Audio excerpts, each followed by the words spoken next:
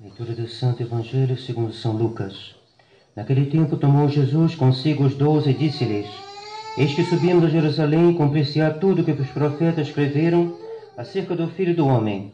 Porque aos gentios há de ser entregue, será escarnecido, açoitado e cuspido, e havendo açoitado, matá-lo-ão. E ao terceiro dia ressuscitará. Eles nada entenderam, por esse discurso era para eles obscuro, e não penetravam o que lhes dizia. E aconteceu que, chegando ele perto de Jericó, estavam cegos sentados junto ao caminho a mendigar. E ouvindo muita gente passar, perguntou o que era aquilo. Disseram que passava Jesus Nazareno. Ele então exclamou, dizendo: Jesus, filho de Davi, de piedade de mim. E os que iam adiante o repreendiam para que se calasse. Ele, porém, cada vez mais clamava: Filho de Davi, de piedade de mim. Jesus parou e mandou que o trouxessem à sua presença.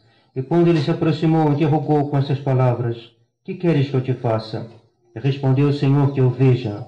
E Jesus lhe disse: Vê, tua alma te salvou. E logo o cego viu e, e o foi seguindo, glorificando a Deus. E todo o povo, vendo isto, rendeu louvores a Deus. Ave Maria, cheia de graça, o Senhor é convosco. Bendita sois vós entre as mulheres, e bendito é o fruto do vosso ventre, Jesus.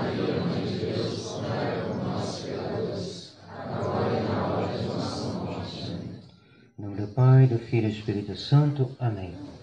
Caríssimos irmãos, caríssimas irmãs, irmãs, caros fiéis, antes de começar, queria lhes pedir uma pequena ajuda.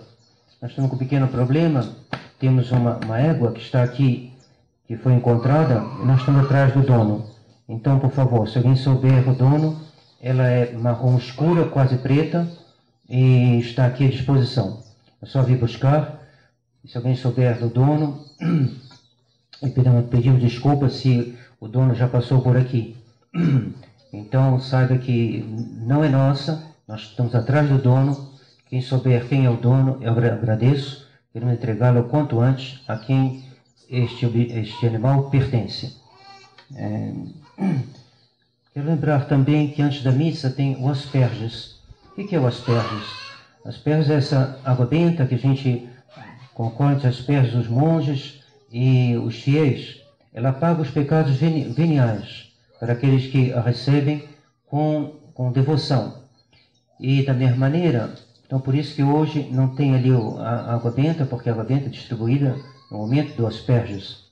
Depois a gente põe de novo a caldeirinha ali, que todo, todo domingo normalmente o padre deve benzer a água benta da semana. É, se toma água benta entrando na igreja, não saindo porque nós vivemos de um lugar menos santo para um lugar mais santo. Então a gente se purifica ao entrar na igreja. Ao sair de diferente, nós estamos saindo de um lugar mais santo para um lugar menos santo. Por isso que essas asperges, no domingo, é dado no início da missa, antes de começar a missa. Então não percam as asperges, porque é a melhor preparação para bem assistir a missa, para é, um complemento da confissão. Ele nos ajuda a nos nos, nos ocupar das coisas de Deus. É, hoje não haverá catecismo porque estamos na, na, missão. A missão começou ontem. Todos quiserem que suas casas sejam abençoadas dentro das nossas possibilidades, nós iremos abençoar as casas. O que, que é uma missão? Missão é um, um esforço que se faz para, numa dada região, aqui as redondezas do mosteiro, de visitar as casas, chamar as pessoas à penitência para fazerem uma boa confissão. E as pessoas que estão na situação irregular, que regularizem sua situação. Antigamente era muito mais fácil, com o apoio do bispo, podíamos fazer regularização dos casamentos mais facilmente. Não que não, não possamos fazê-lo, sob né, uma situação de emergência, uma situação né, de excepcional como essa que a gente vive, mas é, nós ficamos um pouquinho limitados devido à situação atual Muitos ficam assim indecisos, né? Mas seja como for, que cada um aproveite esses dias antes do carnaval para botar em regra a sua consciência para com Deus, fazer uma boa confissão, um bom exame de consciência. E por isso nós estamos pregando primeiro sobre os pecados, porque é isso que é o principal obstáculo à graça de Deus.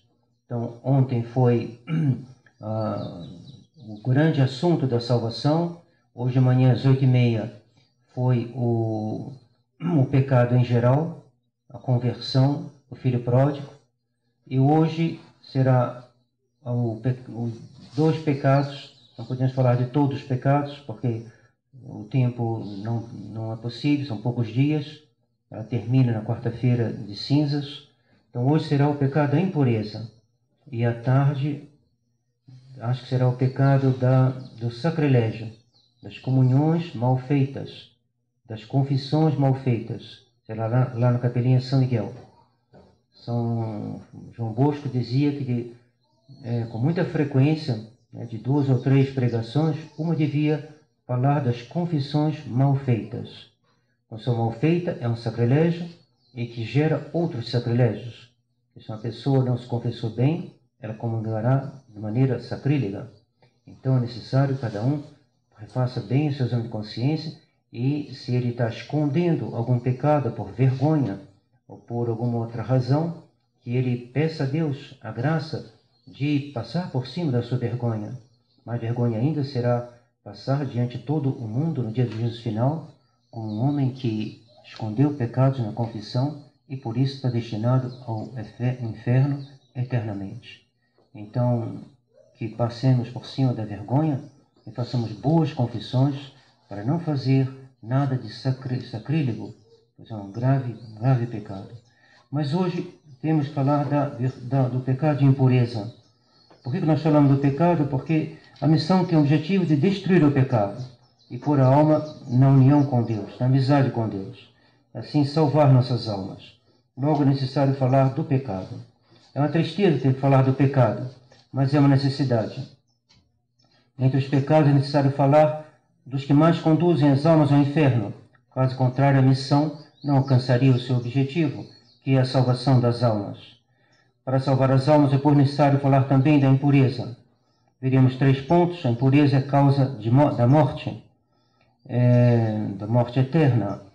Segundo, quando, quando se peca contra a pureza, daremos só os princípios, porque não convém falar de, dessas coisas, diz São Paulo, então faremos muito por alto. E, por, e terceiro, a impureza é um pecado capital, isto é, ela gera outros pecados. Então, primeiro ponto, a, pureza causa de, a impureza causa de morte, morte eterna e morte também nesse mundo. Que horror é este pecado? Ele foi a causa do dilúvio, então a morte de toda a humanidade, menos oito pessoas.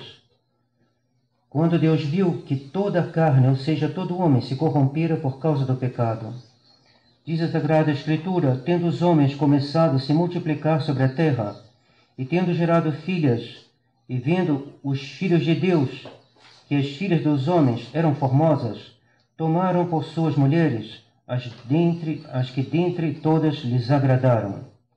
Aqui a Sagrada Escritura nos adverte, primeiramente, sobre os casamentos.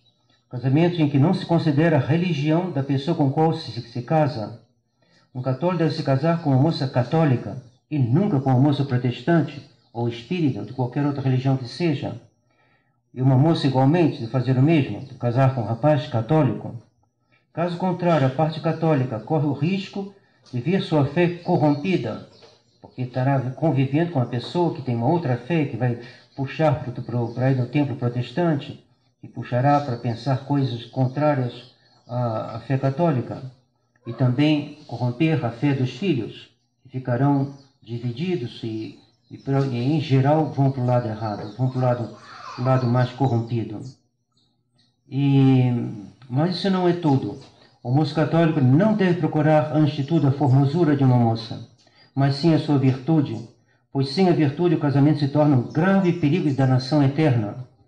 Tobias, filho, quando se casou com Sara, procurou unicamente a virtude da moça, que Deus lhe enviara e casou-se rezando com grande piedade e temor de Deus, rezando durante três dias antes de conhecer sua esposa, como lhe dissera o arcanjo Rafael, para fazer todos que se casam, haviam se casado, todos que se casam devem ler esse livro de Tobias para ter uma ideia, a ideia de Deus sobre o casamento, a ideia divina o demônio é, tem poder sobre os que, se, os que se casam por sensualidade, como explica o livro de Tobias. Sara tinha tido sete maridos e os sete tinham, haviam morrido. E Tobias, quando o arcanjo diz para ele se casar com Sara, ele diz, mas ela já teve sete maridos, sete morreram, é, será que eu não vou morrer também? E o arcanjo explica para ele a razão pela qual eles haviam morrido. E, e Tobias então faz um excelente casamento. Abraão, antes de casar seu filho Isaac, enviou Eliezer procurar entre os seus parentes uma moça que tivesse a mesma fé, a fé no verdadeiro Deus, a verdadeira fé. A fé é um dom de Deus, uma virtude infusa, que nos faz crer tudo que Deus revela. A fé, uma, uma falsa religião, não é fé. Usa-se o mesmo nome, mas não é fé. Não é uma virtude infusa por Deus. É, uma, é uma, um fanatismo humano. Os muçulmanos não têm fé, têm fanatismo, bem diferente. A fé é uma virtude, fanatismo é um vício. E essa virtude é infusa por Deus em nossas almas, para a gente ter essa luz de Deus, conhecimento de Deus, que Deus comunica aos homens. Então assim Isaac se casou com Rebeca, modelo das mães, pela sua fé e sua prudência. Mas voltemos ao dilúvio, que lemos na Escritura. Deus, vendo que era grande a malícia dos homens sobre a terra, e que os pensamentos do seu coração estavam continuamente aplicados ao mal, arrependeu-se de ter feito o homem sobre a terra e tocado de íntima dor do coração. É um antropomorfismo, né? mas mostrar o quanto o pecado é contrário a Deus. Deus tocado mais íntimo do seu coração. Deus não se arrepende como nós, mas o que é contrário a Deus é contrário a Deus. A Escritura usa essa comparação para mostrar o quanto o pecado é contrário a Deus. E tocado de íntima dor de coração, disse: Exterminarei da face da terra o homem que criei, desde o homem até os animais, desde os répteis até as aves do céu, porque me pesa os ter feito. Me pesa. Logo o dilúvio teve por causa o pecado dos homens, e entre os pecados dos homens, e, e, e na origem mesmo desses pecados, estão os maus casamentos. Cuidado com o casamento. Casamento é coisa muito séria. Conheci um dominicano falar de uma maneira um pouco um pouco de humor. Falava assim, quando dois rapazes, um rapaz e uma moça vêm, vêm dizer que eles querem se casar, eu começo dizendo assim, mas não façam isso, vocês não sabem o que estão fazendo. Mas que coisa, que não podia acontecer uma coisa dessa, o que, que vocês vão fazer? E fica, é, bom, cada pai tem seu jeito. Mas a gente entende o que ele quer dizer. Leve a sério o casamento. O casamento é coisa extremamente séria. O casamento é indissolúvel. E a escolha deve ser feita diante de Deus, com toda a ponderação, com toda a sabedoria. Esses pecados do, que causaram o dilúvio tiveram origem nos maus casamentos entre os descendentes de Sete, que acabaram com, se casando com as filhas dos descendentes de Caim. Caim que havia matado Abel, Abel que é a imagem de nosso Senhor Jesus Cristo.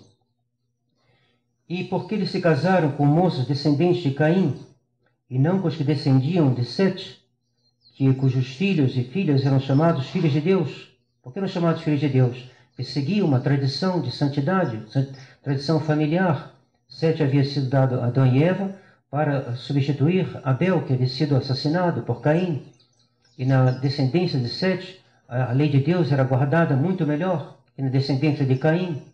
Mas os filhos de Sete que eram chamados filhos de Deus, foram olhar as, as filhas do, do, dos homens, assim que eram chamadas filhas descendentes de Caim, e eles olharam mais a formosura do que a virtude, e fizeram então maus casamentos. Os maus casamentos trouxe a depravação sobre a terra e trouxe o dilúvio, a exterminação de todos os homens por um castigo de Deus. Eis aí aonde leva a impureza. Mas há um outro castigo narrado nas Escrituras, que vai nos revelar o quanto a impureza é detestável aos olhos de Deus. Quatro cidades, Sodoma, Gomorra, Adama e Seboim, foram totalmente destruídas. Se fala mais de Sodoma e Gomorra, mas são quatro cidades, duas maiores e mais duas pequenas, ao todo quatro. Foram destruídas pelo fogo do céu, a tal ponto que hoje o lugar onde elas estavam é um lugar, é um lago chamado Mar Morto. Ele era menor, já existia, mas depois da destruição de Sodoma e Gomorra, ele se estendeu mais ao sul e cobrindo um vale que é extremamente fértil. Quando Abraão pede a Lot, diz Lot, vamos nos separar, porque nossos empregados estão brigando entre si, escolhe o, que, o lado que você quiser.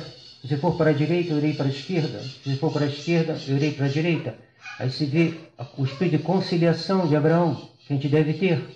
Não deve procurar, procurar briga toda hora. Tem uma briga, tem uma égua aqui que não é nossa, que venham buscar. Que venham buscar. Então, só vem aqui buscar. Espero que seja sincero o homem que venha buscar. E, mas não é nossa. Não vão brigar por uma coisa. E Abraão falou: Não quero brigar com Lot. Você escolhe o lugar que você preferir. E Lot olhou aqueles vales verdejantes, férteis de Sodoma e Gomorra e falou: é, Eu escolho aqui. Mas depois que aconteceu? Não cresce mais nada naquela região. Nem peixe tem no Mar Morto. Nem peixe tem. Exterminação total. Total. Por causa de quê? Pecado de impureza.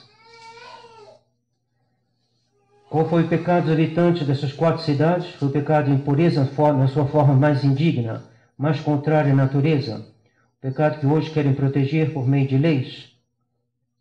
Esse pecado contra a natureza atinge o próprio autor da natureza, atinge a base da natureza. Tem pecados que todo pecado mortal merece, merece o um inferno, mas um pecado à medida em que ele atinge a própria natureza, ele, ele, ele é mais básico, ele é mais, ele é mais, vai mais fundo, ele insulta mais profundamente o Criador da natureza. Por isso, esses pecados de homossexualismo, coisas desse tipo, são os pecados que clamam a vingança de Deus. A vingança de Deus. E foi o que aconteceu. Eles fizeram esse pecado, do mais velho ao mais, mais novo, a vingança de Deus acabou com essas cidades. Choveu fogo. E é o que Mussolini acha que vai acontecer com o nosso tempo. Porque o nosso tempo está seguindo o exemplo de Sodoma e Gomorra.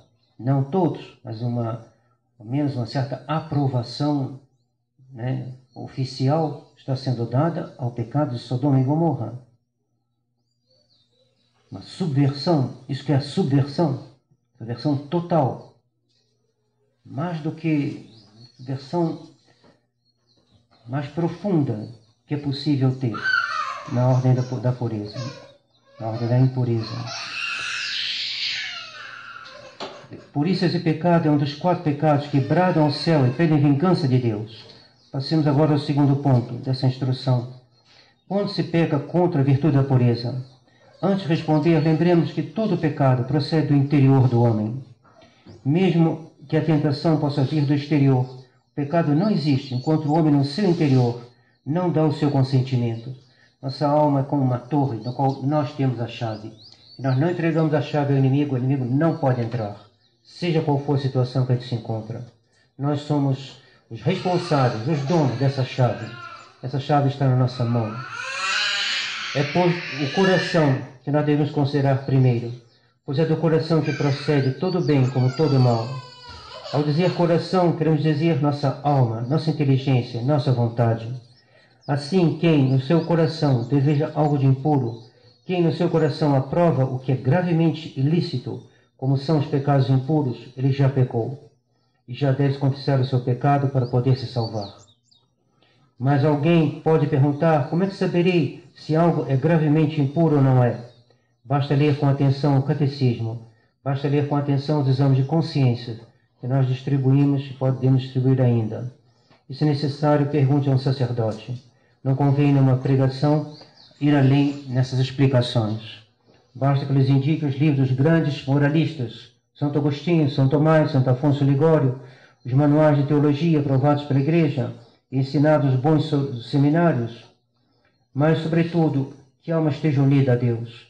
A pureza deve senti-la por connaturalidade. Uma pessoa que reza, uma pessoa que vive no estado de graça, ela, ela não precisa de explicação. Não precisa de explicação.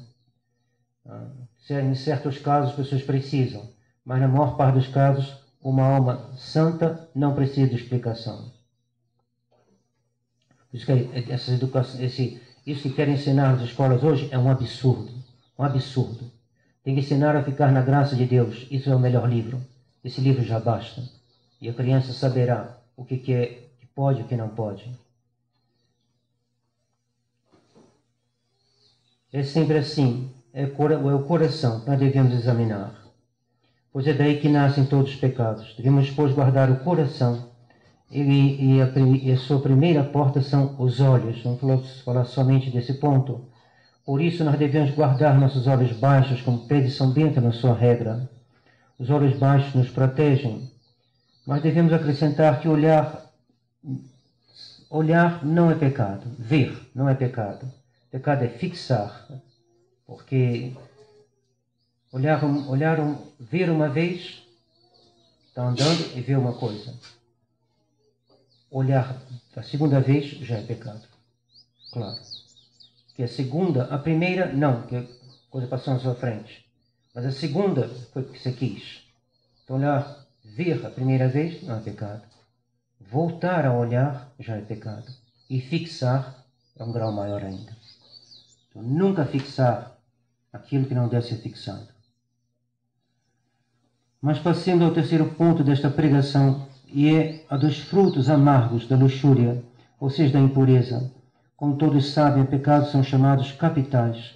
Assim como a capital de um país, como Brasília, ali fica o governo do, do nosso país, e de Brasília se governa as outras capitais dos estados, assim também os pecados capitais, como que governam outros pecados que nascem deles, às vezes são até piores do que ele, mas que nascem dali. Assim, o pecado da impureza, também chamado luxúria, dá nascimento aos seguintes pecados, como se ensina São Tomás de Aquino: a cegueira do espírito, a inconsideração, a inconstância, a precipitação, o amor desregrado de si mesmo, o ódio de Deus, o apego à vida presente, o horror da vida futura. Quantos filhos, quantos brotos envenenados, é, satânicos, ódio de Deus, horror da vida futura. Que ter, terrível numeração! Ela nos faz tremer e nos explica, e ela explica o que vemos hoje em dia. Mesmo se individualmente, nós encontramos ainda muitas pessoas que me, me, nos parecem procurar o que é certo, que são trabalhadoras, que são honestas, mesmo assim nós não podemos afirmar, mas podemos afirmar, sem medo de errar, que a nossa sociedade está progressivamente dominada por uma cegueira cada vez mais profunda do espírito. Isso é evidente. Isso acaba atingindo, acaba nos ameaçando a cada um de nós. E como diz Monson Williamson, mais do que a família, mais do que a escola, é a sociedade que molda os homens. Nós vivemos numa sociedade. E a sociedade, ela como que nos, nos imprime uma marca. Daí, por isso que Abraão, Abraão que para encontrar um esposa para o seu filho, ele mandou Eliezer lá na Mesopotâmia para encontrar dentro da família alguém que não fosse dessa, dessa sociedade dos cananeus, que descendiam de, de Canaã, que havia havia rido da, da nudez de seu pai e falou, não, não quero, não quero. Ele andava como nômade lá para cá, não se fixando em lugar nenhum, para não ter contato com a sociedade de hoje, de então, e nós com a de hoje. Esse contato com a sociedade é um contato perigoso.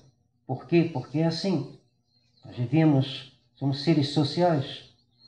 Antes é difícil encontrar o justo, justo meio, o equilíbrio.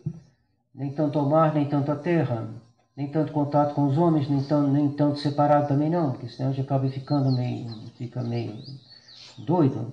E é necessário guardar um equilíbrio, mas é certo que a nossa sociedade está cada vez mais cega. Ao menos os chefes da sociedade atual, porque eles conseguiram, a maçonaria conseguiu tomar o poder. E é sobretudo de lá que vem a cegueira. O, o povo ainda tem, às vezes, bom senso. No Brasil, o povo é é contrário a essas leis absurdas que nós falamos.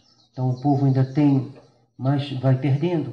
O exemplo que vem de cima tem grande impacto sobre a sociedade. A liberação, as leis, basta ver a França. A França, o, o porcentagem que eu tinha lido, não sei se é exatamente isso, de pessoas praticantes é 1% da população.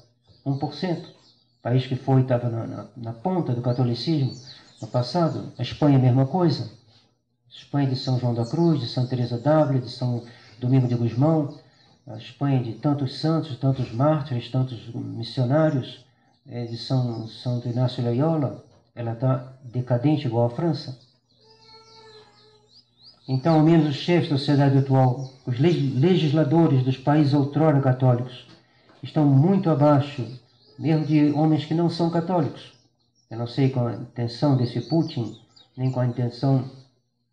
Sabemos também que os muçulmanos são um horror, mas em relação a esse tipo de pecado contra a natureza, tanto Putin como os muçulmanos estão menos baixos do que a França e a Espanha e a Holanda. E mesmo os judeus, eu penso que em Israel essa, essa lei não existe. Então, estamos abaixo dos judeus, dos países outrora católicos. Que vergonha, que decadência, que rebaixamento. Não sei, não sei com que fim esses homens de Estado preservam seus países deste pecado que clama vingança, a vingança de Deus, pela vingança de Deus. Mas o que sei é que países entre os que mais deram santos à igreja, países que deram o modelo da ordem social para que o mundo pudesse ter um, exemplo a seguir, países, enfim, de nosso Senhor Jesus Cristo reinou como verdadeiro rei. Esses países são hoje o teatro de cenas e de leis que mostram a mais completa cegueira do espírito. Primeiro, consequência do pecado de impureza, cegueira do espírito. Não se vê mais um palmo diante do nariz. Não se vê. Homens estão cegos. O Senhor, na, na França, teve, teve uma manifestação contra justamente essas leis. E ele estava, depois tinha terminado a manifestação, era uma, uma blusa com um homem, uma mulher dando a mão e uma criança de cada lado. Foi, é, foi abordado pela polícia, ele estava perto do, do palácio do governo e a polícia mandou ele tirar. Ele falou, por quê? Que é um atentado ao, aos bons costumes. Ele olhou para a polícia, sorriu e falou, eu não tiro. Ah, então você vai para a delegacia. Levaram o homem para a delegacia, os filhos foram acompanhando, e na delegacia ele perguntou, o que vocês vão botar no boletim de ocorrência? Atentado aos bons costumes. Ele riu e falou assim, não faça isso, vai ficar muito ridículo para os senhores. Então eles caíram em si e botaram é, manifestação lúdica não permitida, não autorizada. Tá? A que ponto? Que ponto chega a cegueira? Atentado aos bons costumes, andar com uma blusa onde tem o pai e a mãe e um filho de cada lado. Num país que era a ponta de lança da defesa de Roma, ponta de lança da defesa da igreja. Eles estão cegos, Deus os cegou em punição pelos seus pecados. Deus retirou a luz do discernimento entre o bem e o mal. Daí se segue esta triste ladainha de calamidades que hoje são que, que são, perdão, que são em todos os tempos, a inconsideração, inconsideração dos princípios morais, como esses dois velhos é, pervertidos que queriam seduzir Susana e a condenar à morte. É, diz a Escritura que eles não afastaram os seus olhos da, do, do, de Deus, da lei de Deus, afastaram, não consideraram, fizeram um esforço para não considerar a lei que eles conheciam muito bem pois eram os vícios do povo entre o povo de Israel. Isto é, afastar os olhos da inteligência para não considerar a lei de Deus e para se entregar a seus maus desejos. E não é isto que nós vemos hoje. Onde está a censura? A censura que é necessária, mas que foi tão caluniada, tão atacada. Onde está a censura? Foi suprimida. E o que acontece? A corrupção invade as ruas, a televisão, as casas, os colégios, toda parte. Não há mais censura e os jovens, assim como os adultos, olham coisas na internet, esquecendo de considerar que está rigorosamente proibido. Da, da impureza procede também o mau amor de si mesmo, esse egoísmo que se vê em algumas pessoas que se entregam à impureza, a impaciência, vivem só para si e procuram só o que esse, esse falso bem que eles se, no qual eles vão procurar porque estão cegos um, um bem que, né, que, que, que, não existe, um bem que é um bem animal, que não, não é o bem da natureza racional. Ele vive para si, para os seus prazeres, e se aborrece quando não tem o que deseja. E chegaremos ainda, chegamos então ao que, ao que é pior, o ódio de Deus. A impureza conduz ao ódio de Deus, pois a alma vira as costas para Deus. Ora, nossa civilização caminha para o ódio de Deus como, como dá testemunho essas campanhas, essas marchas por Satanás, a proliferação do satanismo, é, do qual já no tempo de Corsão tem um artigo falando do desenvolvimento do satanismo. Satanismo com, com, com padres satânicos, com bruxas, com, com culto a Satanás e tudo isso. Isso é fruto, fruto do, do ódio de Deus, ódio de Deus, fruto da, da impureza. Como consequência, há uma cai no desespero e no horror da vida futura. Sem Deus, contra Deus, que pode esperar uma alma? Nada, absolutamente nada. Ou ela se converte, ou ela já está com o pé dentro do inferno. Quantos vão por esse caminho infernal e já sentem como que o cheiro do inferno, sentem a proximidade do inferno, sentem já o inferno junto deles, como a rainha Elizabeth, o que contam lá na Inglaterra, um dos redentoristas me contou que ela tinha feito um pacto com o demônio, me dê 40 anos de reino e eu lhe dou minha alma. E no fim, a morte dela foi terrível, ela uivava, porque ela se via já no inferno. E talvez lá esteja. Ela perseguiu o catolicismo com todas as suas forças. Quantos vão então por esse caminho infernal? Sendo assim, eles têm horror da morte, evidente. A Elizabeth só tinha um horror, terminar os 40 anos. Mas 30 anos acabaram. 40 anos passa com um piscar de olhos. A eternidade é que não passa. Tem horror da vida futura. Tem horror do juízo, no qual eles não creem, mas temem mesmo assim, porque algo lhes diz que seus pe pecados não ficarão sem punição. E são cegos, mas em certos momentos, mesmo Voltaire, morreu de maneira horrível, pegando o seu urinol e bebendo os excrementos e, e vomitando, uma coisa horrível, indescritível. E como se estivesse já, ele dizia, ele via, o demônio na hora da morte. E gritava, gritava e morreu desesperado. Ele que havia ofendido a Nosso Senhor de uma maneira inigualável entre os escritores. Terminava suas cartas dizendo, esmaguemos o infame. O infame era Nosso Senhor. Então, a vida futura para esses homens, o que, que é? Ah, eles pressentem, pressentem que não vai ser, não vai ser o céu. Então, horror da vida futura. Que contraste com a vida dos santos.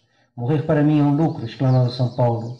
Eu não morro, mas eu entro na vida, dizia Santa Teresinha no leito de morte. A morte das almas puras é repleta de paz, de esperança, mesmo se as dores da agonia lhes fazem sofrer. Sim, há sofrimento na morte dos justos, e nós temos que rezar e pedir a Nossa Senhora que venha ao nosso socorro na hora da agonia, mas que, que, que ela nos traga a santa esperança. A dor é uma coisa, a esperança, ela apazigua a dor. Nossa Senhora da Santa Esperança.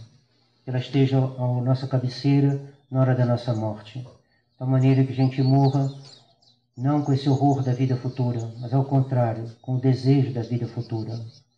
E Santa Teresinha, Santa Bernadette dizia: Eu não preciso de coragem para viver, não, não preciso de coragem para morrer, perdão. Eu preciso de coragem é para viver. Como é duro ficar nessa vida onde é tão difícil amar a Deus. Então os santos aspiram pela vida futura. Que Nossa Senhora da Santa Esperança nos dê também esse, essa inclinação. Mas para os impuros e penitentes não haverá esperança. Que horror! Puxamos deste horror, fazendo uma boa confissão e depois, depois de um sério exame de consciência, fazemos também um firme propósito de combater vilmente tudo que leva à impureza. Não adianta confessar, necessário também, além da confissão, fazer um propósito, tomar um sério propósito de evitar o pecado que a gente confessou. Porque pessoas, é aconselhado até os padres, se um penitente confessa sempre o mesmo pecado mortal, regularmente, e não há nenhuma mudança, ele deve recusar a, a absolvição, como meio de fazê-lo pensar. Hoje não vou te dar absolvição. Vá e pense melhor. Pense o que você está fazendo, olhe para onde você está indo, vai acabar no inferno assim. Porque uma confissão, que é sempre o mesmo pecado mortal, pecado venial sempre teremos. Pessoa que faz sempre o mesmo pecado mortal da mesma maneira, sem nenhuma mudança, é verdadeira a sua contrição? Tudo leva a pensar que não. Pode ser verdadeira, mas pode não ser. Então é necessário tomar uma, uma resolução. Estou fazendo um pecado mortal grave. Eu devo tomar uma resolução. Como me concentrar. Eu não posso mais isso. Tomar as medidas necessárias para não recair. Sejamos fortes na fé, como nos diz São Pedro. Resistir ao demônio fortes na fé. De consciência, que a fé nos ilumine. É com ela que a gente deve fazer o exame de consciência. É preferível morrer do que ceder. Que esta seja a nossa divisa. Ave Maria Puríssima. Em nome do Pai, do Filho e do Espírito Santo. Amém.